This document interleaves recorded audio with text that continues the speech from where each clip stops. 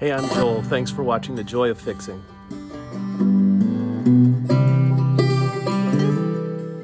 Well, it's been a long day. As you can see, the sun went down. But today, I put together a rainwater collection system.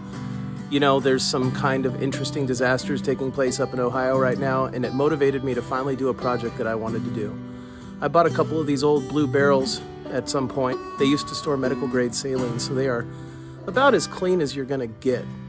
Um, but what I wanted to do was build a rainwater collection unit. Um, in another video, I'm gonna talk about filtering rainwater and drinking it because uh, clearly you don't want to drink rainwater straight with all the particulates and uh, pollution and all the crap that's coming off your roof. But as far as my garden goes, everything dies when I use my hose water. It's just not good. There's a lot of stuff. We live near a big mining operation and the groundwater is kind of so-so, very hard. Plus I live near a lot of farming and agriculture, which means I'm getting a lot of things like Roundup, those glycophosphates, all that other chemical down in the water. We already filter our water in our house, but you know, I'm looking for different options. So for the garden, I would like to have clean rainwater on hand at all times for watering our small garden that we're going to be putting in this year.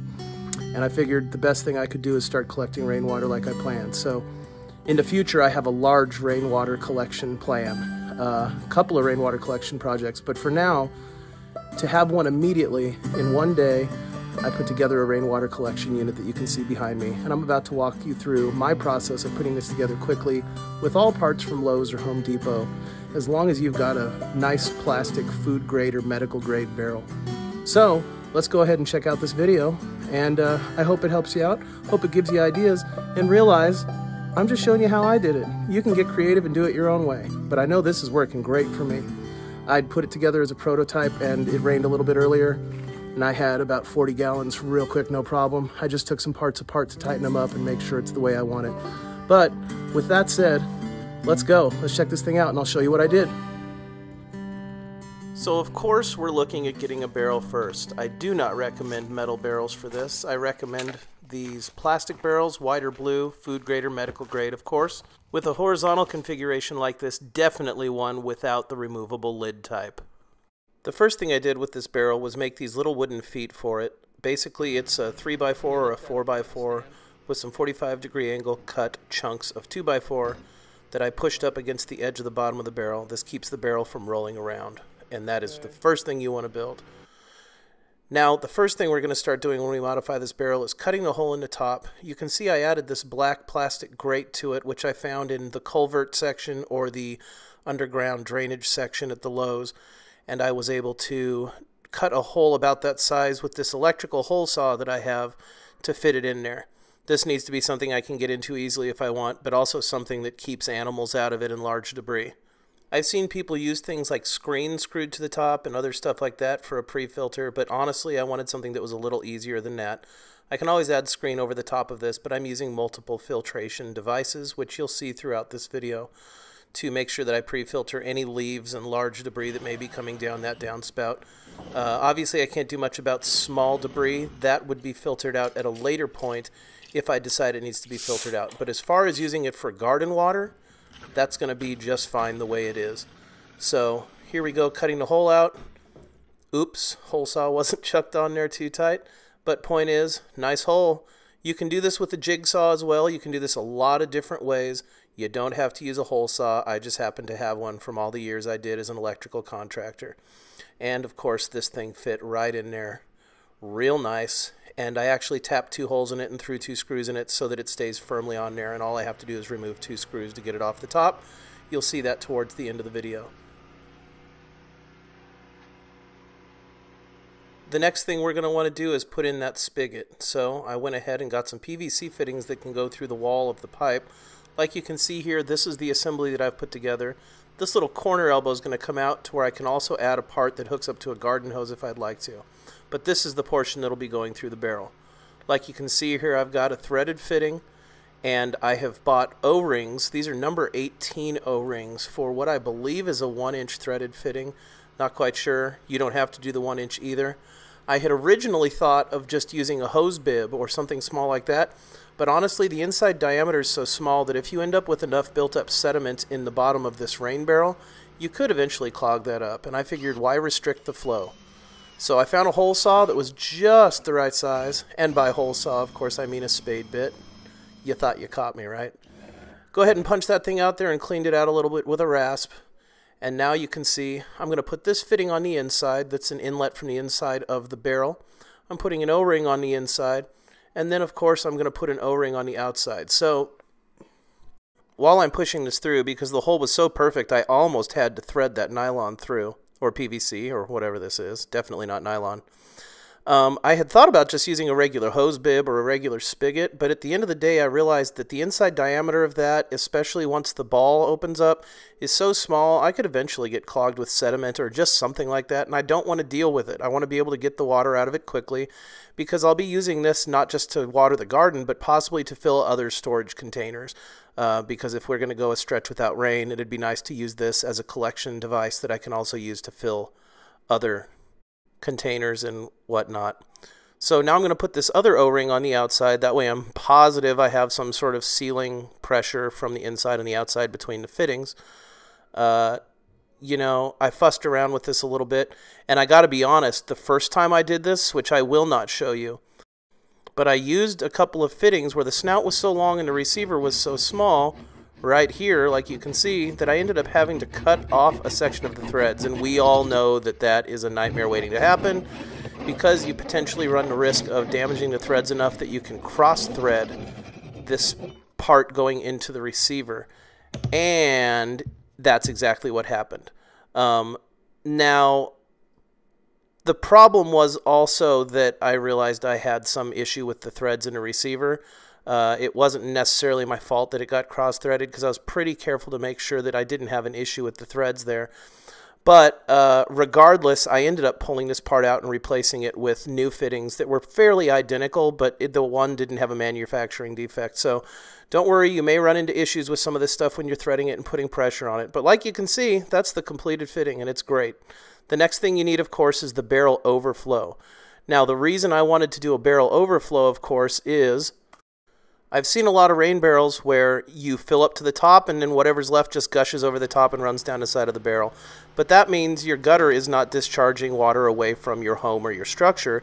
It's just pouring around all over next to the barrel, which can eventually lead to foundation damage or sink the post of one of your porches. So you're going to want the overflow.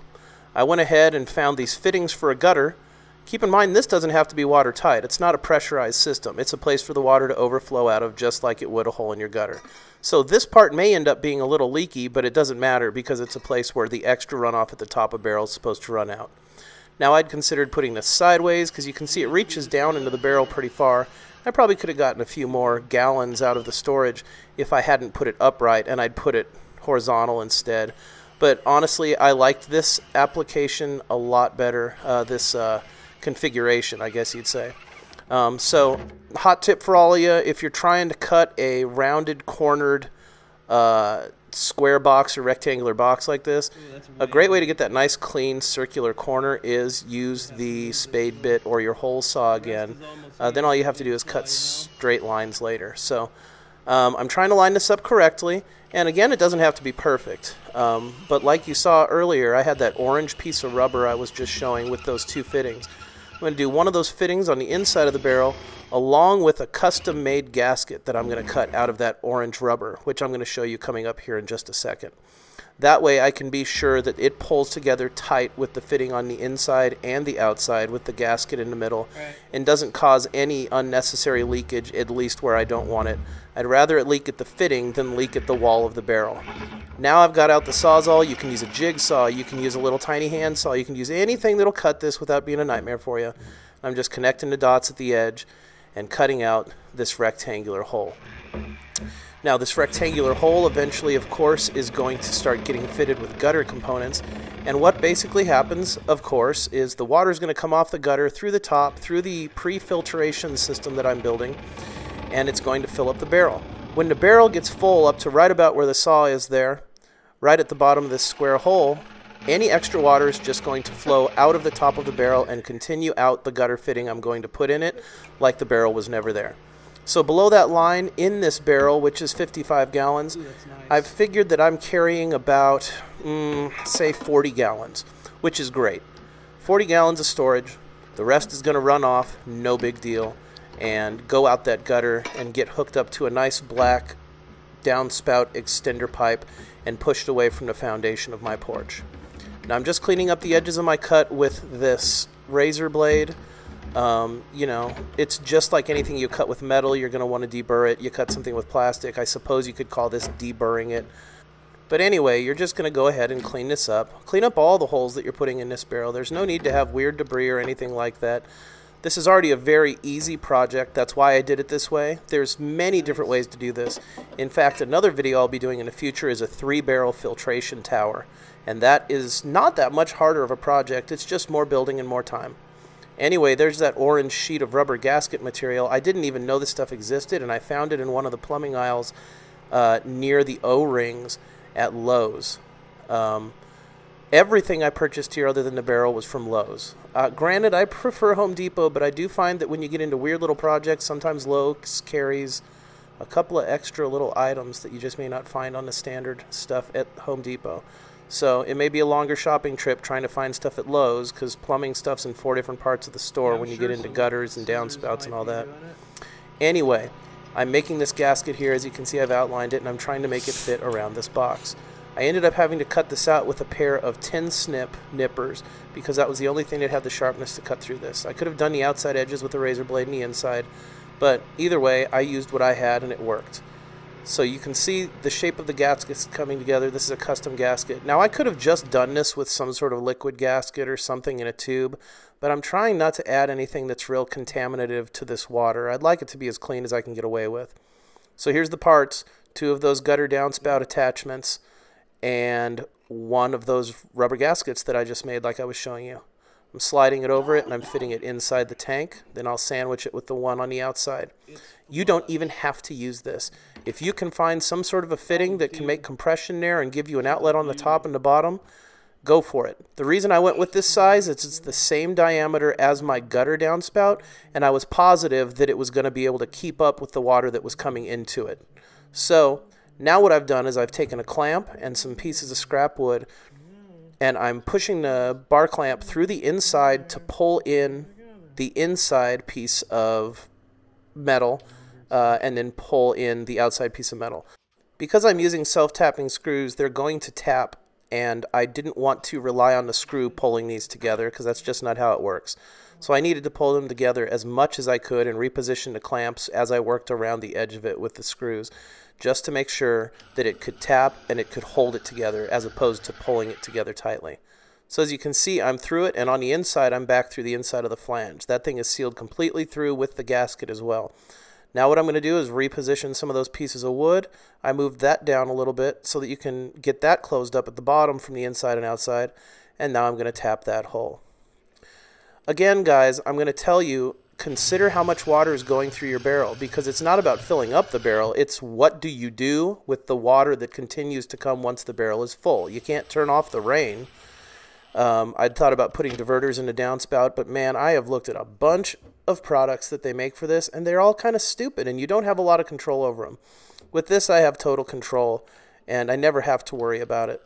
So there you can see we're getting down to the last one, getting her all screwed in, and I can remove that scrap wood, and that unit is put together nice and tight with a gasket on the inside and ready to go out to the gutter fitting.